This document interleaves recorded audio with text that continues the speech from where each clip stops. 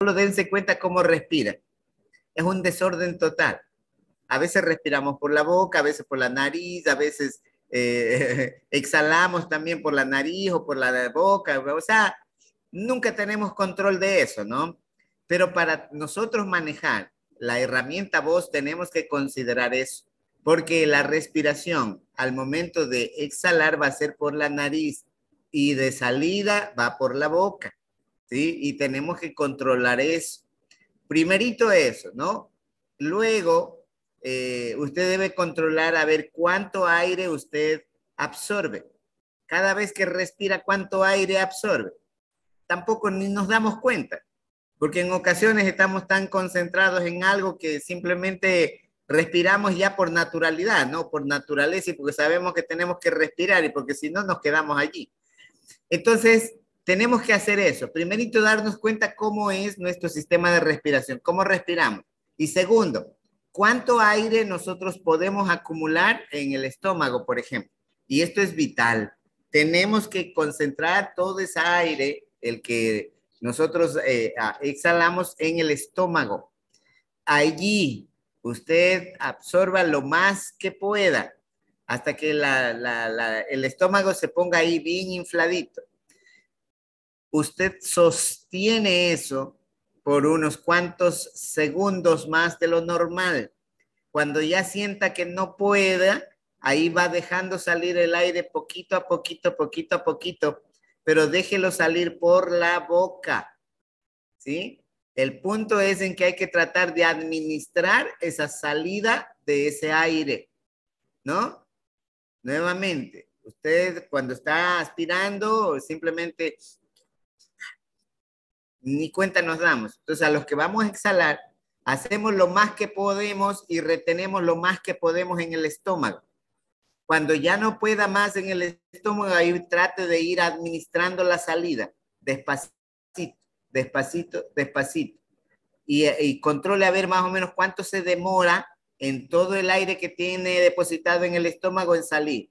Si se demora 30, 40 segundos, estamos bien es decir, puede usted retener y puede administrar esa salida del aire. ¿Por qué?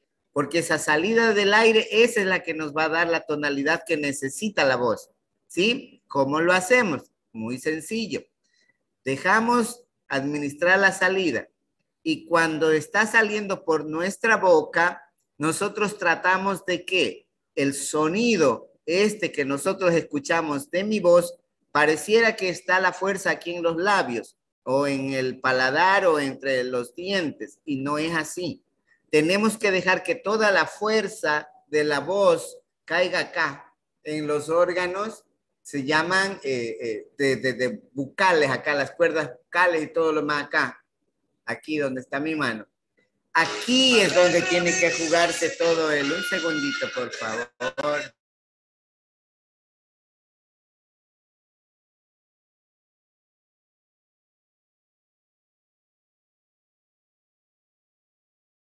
Entonces, eh, tratemos de hacer eso, administrar el aire, la salida. ¿Se han visto cuando las modelos eh, quieren caminar en pasarela? Les ponen un libro en la cabeza. Y ese libro tienen que cuidarlo para que no se caiga mientras camina y mientras salta y mientras se columpia y todo lo demás.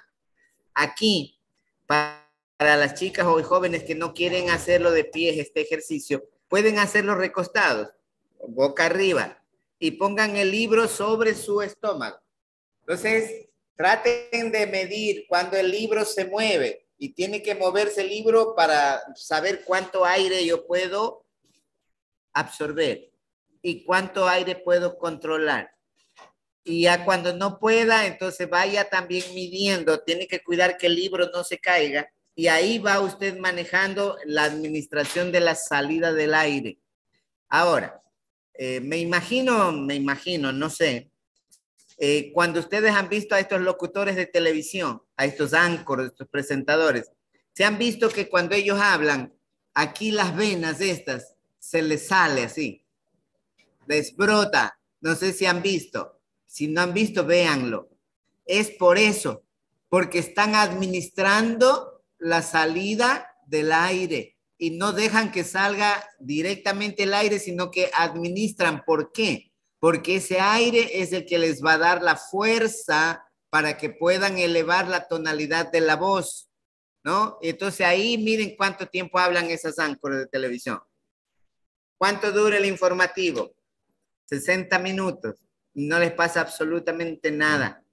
Estos jóvenes que hacen narraciones deportivas en las radios, ¿cuánto tiempo hablan?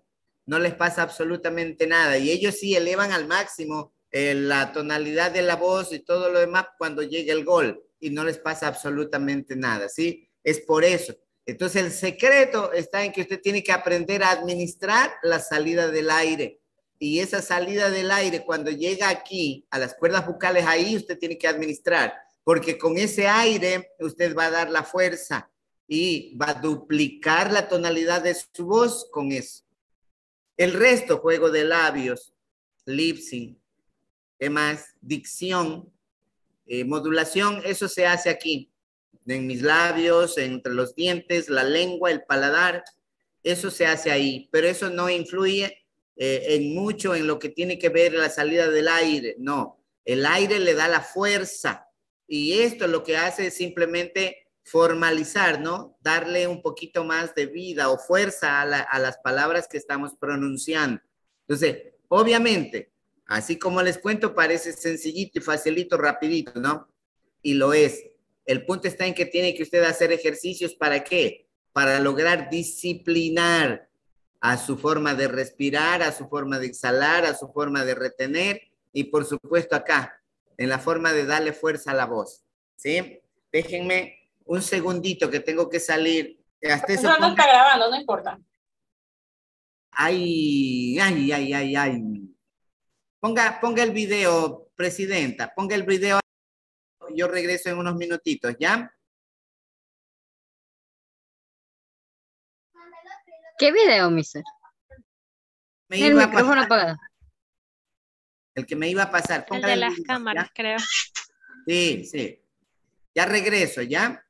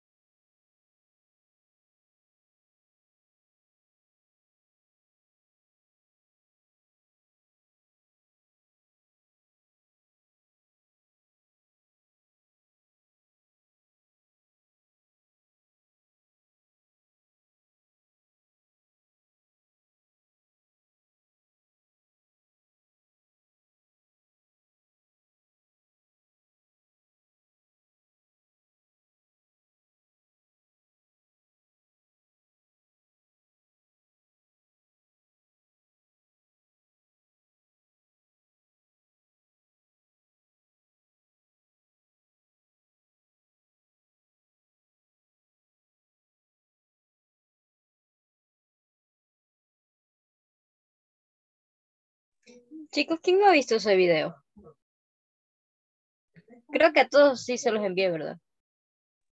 Que sí, Erika, todos lo tenemos ese video.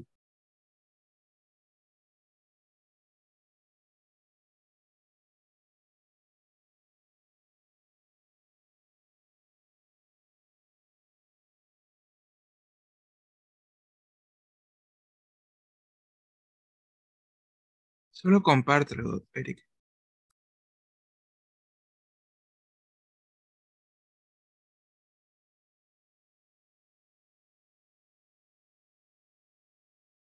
Mejor Yeshua, tú enséñanos esas técnicas. Pero las enseñé a mí el semestre pasado. La del Pero yo quiero que nos enseñes las tuyas. Pues. Yo, es vocalización en piano más que todo. Pero tú cantas, haces coros.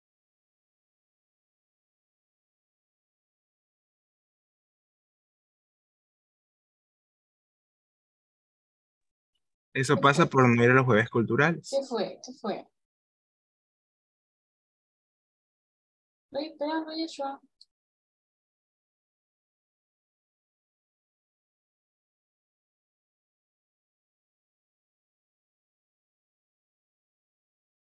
Yo no soy el único que canta aquí, hay también otros cantantes. ¿Qué quieres que les enseñe? La manera en que puedes tener el aire para que no se escuche así como que te ahogas. Eso te está preguntando, hijo. Ah, ya, ya, bueno. Mira, puede que todos respirar. canten aquí, pero a mí me interesa que tú nos enseñes lo que tú sabes, por eso vas al coro todos los jueves, pierdes clases y todo eso. Por, por algo te ha de servir, ¿no? En efecto. Sí, a ver. Tienes que estar No me parado. enojar, por favor. No estoy. ¿Me dejas explicar? No, yo me voy a enojar. Tienes que estar parado ya. con. Oye, ya, Alan, cállate. Ya, Alan, que contigo no es, metiche. Tienes que pararte y poner los pies a la altura de los hombros y respirar y poner tus manos en tus costillas.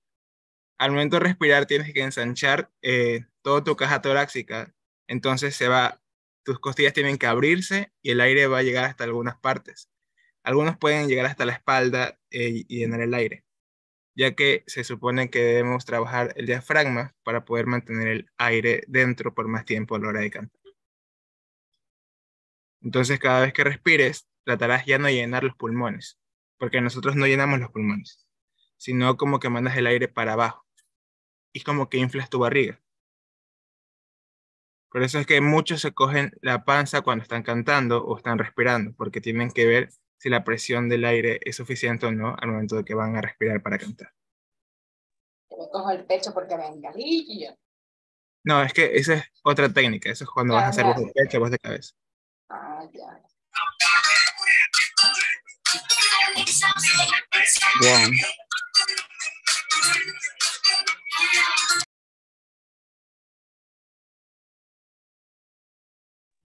Linda la música, ¿no?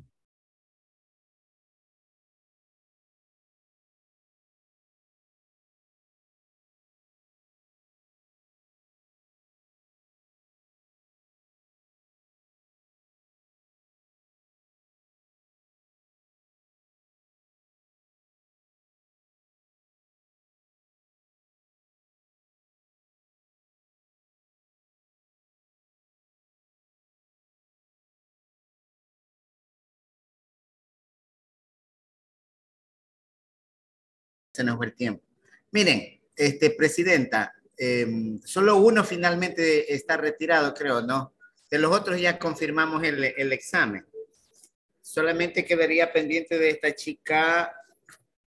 Déjenme ver dónde está, por aquí la tenía anotada ahorita. Vallejo Rodríguez, ¿no? Presidenta. Sí, mister. Vallejo Rodríguez Luisa Génesis. De paso no está mister aquí. Sí, nunca, nunca pudimos, nunca pudimos confirmar si realmente está, se retiró mismo o solamente tuvo problemas, algo por el estilo. Porque sabe que, este, Presidenta, eh, si, si ojalá tuviera un tiempito ustedes, y ustedes también compañeros ayuden, ¿no? Si la pueden contactar y ver, hasta mañana sábado tenemos tiempo, ¿ya? Es que de pronto ha tenido algún percance, alguna cosa. Nadie sabemos, ¿verdad, Presidenta? Hagamos eso. Eh, todos hagamos causa común. Tratar de contactar a la compañera y eh, si, si hasta mañana, hasta mañana, eh, yo podría esperar más o menos hasta las seis de la tarde, porque ya se, los plazos se nos eh, cierran y tengo que subir a la plataforma ya lo que, lo que queda, pues no, o sea, ustedes. Entonces hagamos eso, por favor, causa común todos y tratemos de, porque yo me he cansado de escribir a esos números que está aquí registrados en el correo y todo lo demás. Le he mandado correos, le he escrito al teléfono ese, no, no, no contesta, no contesta. No Mister, yo creo que también la chica está retirada, porque yo le dije desde mi número anterior que había solamente el compañero Suárez, era el que tenía que acomodarle eso porque él sí había estado, sí se había presentado al examen, ya los otros dos chicos, dos chicas o chicos, algo así, estaban retirados. Ah, ya, pero Cuero se apareció, mi querida presidenta. Cuero Dávila. Giancarlos. ¿No? ¿No lo ubican ustedes? Aquí, aquí estaba, pro. Yo sí lo vi conectado. Él no- apareció, él apareció. Profe, buenas tardes. Una consulta. Disculpe, ¿cómo va a ser ahorita con la asistencia? Porque la mayoría se salieron y sí estaban aquí. Apa, les ponemos falta. A usted Se le ponemos salieron No, porque, mentira, no. salieron porque ya tenemos que ingresar a la otra clase, Miss. Sí, profesor, yo por eso me había ido y Sí, regresé. profe. Profe, usted tiene falta. María regresó. Qué bien. Con mucho gusto, póngame la falta, ya con gusto asumo ya. Este, Todo eh, falta entonces. está bien, está bien, señorita Caicedo, no se preocupe, muchas gracias. Este, miren, eh, igual, igual, o sea, hemos tenido inconvenientes hoy. ¿Cómo puedo ponerme exigente si yo no estuve a- a- puntual? ¿Sí ven? Entonces, ¿quién quita que ellos estuvieron los primeros minutos? Sí, 10 minutos, 15 minutos que hayan estado ya, ellos tienen su derecho ya de, de- de- aquí, pues, ¿no? Entonces no puedo yo exigir. No, hoy, eh, claro, ese mismo, si alguien protesta, bueno, no les puedo, pero hoy les ponemos a todos, ¿ya? Solo por hoy nada más. Presidenta, o yo, solo por hoy. Listo. Y eh, miren, los ejercicios eh, para mejorar la voz y todo lo demás. eh, voy a tener de, eh, eh, de los chicos que hacen aquí, para que vean cómo ellos funcionan. Pero ¿sabe cuál es otro secretico? Así rapidito antes de que nos cierren el aula. Cuando ustedes vayan, eh, ustedes, bueno, todo el mundo en el baño tiene un espejito, ¿verdad? Búsquense poesía. Eh, estos de Neruda, todos esos poemas, esos lean. Y lean eh, frente al espejo. ¿No? Ahí está el espejo, aquí pónganse ustedes el libro y traten de elevar la voz lo más que puedan, hasta cuando sientan que ya quieren gritar. No griten, porque si gritan van a, con, a- con irritaciones y todo lo demás. Entonces, no griten, solamente busquen su límite, hasta dónde pueden subir la tonalidad de la voz, así normal en la lectura nada más. Y hasta la otra semana ya para ubicarlos, para que hagan los ejercicios, ahí sí ya para elevar al, décimo nivel la, la, la voz, ¿no? La tonalidad de la voz. Por ahora, este fin de semana, todos, el ejercicio, frente al espejo, en su bañito, cójase sus poemas y lean, lean en voz alta, en voz alta, en lo más que pueda. Ahora, los que quieran ya ir mejorando su tonalidad de voz, hay un ejercicio que es medio, mm, medio cochinito, ya medio... ¿Por qué? Porque tienen que buscarse un lápiz, pero de madera, de madera. Ese lápiz lo incrustan a la boca ahí lo más que puedan, hasta donde más puedan, ¿no? Así. ¡ah! Y lo muerden ahí. Le tienen mordido ahí el lápiz y con el lápiz ese ahí, eso, señor Alan, lo más que pueda, más, lo más que pueda. Alan Falconi, lo más que pueda y tengan ahí mordido el lápiz y lean esos poemas. Traten de hacer una lectura correcta con los poemas. ¿Por qué poema? Porque de todas maneras en el poema nosotros tenemos las formas o, o las frases o las palabras adecuadas para hacer inflexiones de voz. No es lo mismo hacer una lectura lineal. Usted coge un periódico y comienza a leer y es una lectura lineal. Pero en cambio, siendo poema, usted se concentra en lo que está diciendo ahí y automáticamente las inflexiones, ¿no? Sube, baja las tonalidades de la voz y eso quisiera. Con el lápiz. Ahí y lean en voz alta. La lengua no le va a permitir, no le va a permitir, pues domínela. Usted tiene que dominarla, porque la lengua lo único que hace aquí es eh, darle un poquito más de fuerza cuando sale el aire para la voz. Pues no se olviden, la, la fuerza de la voz está acá. Y, eh, pero con eso nosotros vamos a ir aprendiendo un poquito más lo que es dicción, por ejemplo, ¿no? Y el resto poquito a poquito vamos haciendo, ¿ya? Y la próxima clase, ahí les voy a enseñar ya el, el, el secretico para la respiración diafragmática que se llama, lo que les comentaba hace un minuto. Necesitamos que las voces de ustedes estén en perfecto estado. No se olviden, ustedes en cualquier momento tendrán que ponerse frente a un público. Tienen que enfrentar a ese público y tienen que saber hablar y tienen que tener una buena modulación de voz. Tienen que aprender esto de inflexiones, porque con eso usted enfatiza lo que está queriendo decir y obviamente le da también la fuerza sonora natural de su voz para lo que en ocasiones se necesita hacer cuando es algún tipo de discurso especial. ¿Sí? Entonces, hagamos esto el fin de semana, ¿ya? Y en ese caso, como les digo, ya la próxima clase ya les preparo bien para que nosotros hagamos el secreto de la respiración diafragmática, ¿sí? Pero tenemos que buscar elevar nuestra tonalidad de voz lo más que podamos. La señorita Dominique Carrera, bueno, ya vio algo de esto, me imagino si vieron respiración diafragmática y eh, lo que va a hacer es recordar nada más para ponerlos a tonalidad. No se olviden, si no hacen el ejercicio no va a pasar absolutamente nada. Si quieren cambiar realmente hay que buscar disciplinarnos y mantener. La voz es algo que tienen que aprender a manejarlo, ¿de acuerdo? Listo, antes de que ya nos están votando del aula. Entonces, nos vemos. Ya tenemos la otra clase también. Ah, ya. Nos, te- nos vemos la próxima semana. Cuídense mucho, por favor. No se olviden, el COVID todavía está ahí y sigue matando gente. Cuídense Gracias, mucho. Chao, chao. Gracias, profe.